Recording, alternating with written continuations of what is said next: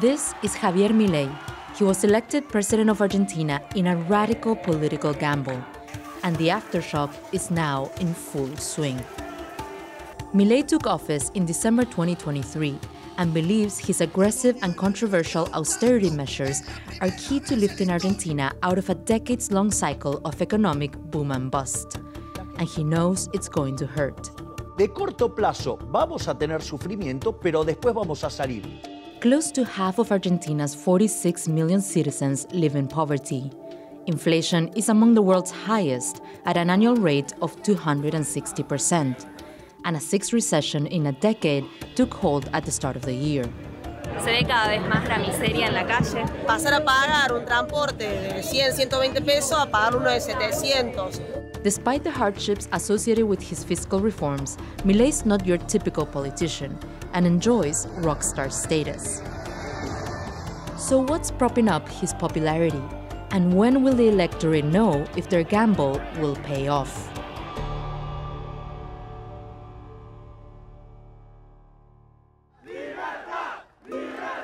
Milei kind of came out of the blue. He had only been in politics for two years as a national congressman. Argentines took a bet on someone completely new, that even in his discourse, filled with yelling and expletives, he captured the ire that they themselves were, were feeling at everyday life. And perhaps understandably, Argentina's the largest economy in Latin America after Brazil and Mexico, but it spent a third of the last 70 years in recession. It defaulted on its international sovereign debt three times since 2001. Runaway inflation and a devalued currency prompted the central bank to introduce bigger and bigger banknotes to help shoppers needing to carry increasingly large stacks of cash around. We are in a huge crisis, but also we have a very important opportunity because we have things that the world needs. We have oil, gas, lithium, commodities. So maybe it is an opportunity to find our model of economic development. Milei planned on finding that model. He started by stripping away government subsidies of public utilities, from electricity and gas to water and public transportation. This has had a big impact on people's wallets. In December 2023, an average household in the Buenos Aires metro area would pay about 30,000 pesos for public services. That bill has soared in the months since then. Low and middle class households who previously had to pay next to nothing, about 5%, for the actual cost of electricity are now having to pay between 20 and 30% of the real cost of that electricity. This had real financial consequences for people like Monica Perez. She owns a carniceria in a working class neighborhood outside of Buenos Aires, but she says she stands by her vote for Milei. Me encanta que no sea ese político tradicional. Nos acostumbramos a pagar eh, la luz dos monedas, el gas dos monedas, y ahora él vino a, a sacar todo eso, que a mí me parece bien, pero también hay que recuperar los sueldos. Milei also cut real spending on pensions, social security, public wages, and education, and halved the number of ministries in government. Ministerio de las Mujeres y Género y Diversidad, afuera. Ministerio de Educación, afuera, afuera, afuera, afuera, afuera. It was all part of Milei's rock and roll campaign promise to take a chainsaw to public spending. Milei reduced spending on public works in real terms 90% compared with the first three months of 2023. That includes everything from hospitals and schools to train stations, bridges, and even hydroelectric dams, no matter how far along they were.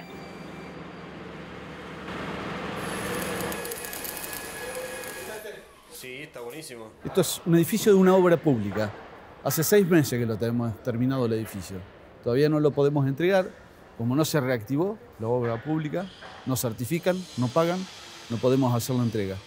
Juan Pablo Rudoni owns Ecosan, a modular construction company that works on both private and public infrastructure projects. Since Milei came to power, he says government contracts have been completely frozen. Eh, la verdad que la expectativa iba, no iba a ser tan duro el ajuste, que no íbamos a tener un parate absoluto de lo que fuera obra pública, es parte del costo que todos estamos dispuestos a asumir para tener una Argentina normalizada y con proyecto de futuro. He's not alone in his optimism. Milei came to power with nearly 56% of the vote, and he's mostly retained that popularity. Different polls show different numbers, but for the most part, he remains above 50%. This is really high approval rating for someone who's taken such unpopular measures. One of the main reasons that Milei remains so popular is that there's still a lot of anger toward everyone that came before him. There's plenty of anger when it comes to Milei's politics as well. He's right wing and a self described libertarian who's quite literally embraced Donald Trump and his political rhetoric. He condemned abortion, advocated for the free trade of human organs, and cozied up with far right leaders and billionaires across the world. Las políticas de, de Milei solamente favorecen a grandes grupos económicos en relación a los trabajadores, en realidad lo que está trayendo es más miseria. But as for whether Milei's austerity measures are working, it really depends on where you look. When he took office, monthly inflation spiked to 25% after his government scrapped price controls and devalued the currency. But it slowed since then, reaching this two year low in July. And that is very important because inflation affects people not only in material terms, also in psychological terms, okay? For someone going to the supermarket and seeing that a product have the same price as the last week, well, that has a psychological impact that is very, very important. The government also now spends less than it receives in tax revenue. That's notable for a nation that in 2001, during a brutal recession, went through five presidents in two weeks and defaulted on a record $95 billion of foreign debt. We haven't seen this level of sustained fiscal surplus since 2008. It's a country that has always spent way more than it has, which is one of the key culprits behind runaway inflation. Some critics say that the onset of a fiscal surplus is simply the result of one time cost cutting measures.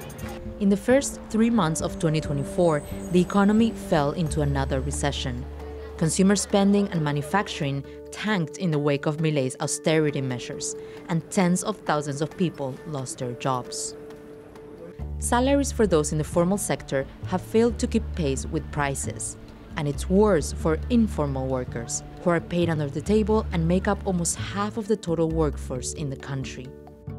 In June, Argentina's Congress approved a sweeping bill that grants Milei emergency executive powers, privatizes a number of public companies, makes it easier for employers to fire workers, and provides tax breaks for foreign investments in key sectors like mining. It's really important for investors because it's a test of whether or not Milei can get congressional approval to back his ideas. It's one of the biggest challenges that he faces because Milei is sort of a one man party. There's no one else. In 2025, midterm elections will reveal whether Milei's measures and the hardship they've meant for those who gambled on his presidency pay off.